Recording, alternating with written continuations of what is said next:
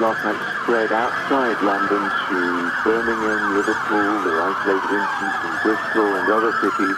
At the epicenter of this, this sort of firestorm of, of rioting has sort of taken on a life of its own.